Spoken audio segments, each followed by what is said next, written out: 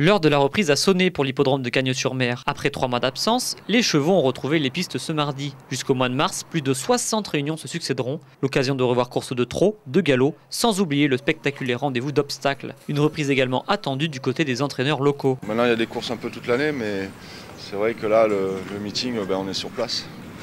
Donc c'est un avantage. Il y a des bons chevaux qui viennent de Paris et, d'ailleurs.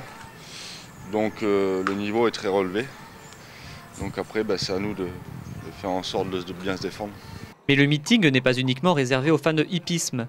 Comme pour les années précédentes, Cagnes-sur-Mer fera office de véritable rendez-vous familial. De la balade en poney au vélo sulky, les enfants pourront venir s'amuser à l'hippodrome, un objectif clairement revendiqué par les organisateurs. L'optique de la société des courses, c'est de faire de cet espace un espace de vie, un espace euh, de famille. Et donc on a mis des thématiques sur les belles journées pour essayer de faire venir un maximum de personnes, que vous puissiez venir en famille avec vos enfants dans un espace qui sera sécurisé et des animations pour ces enfants. Tous les samedis, tous les dimanches à l'hippodrome, vous allez avoir des poneys qui seront présents.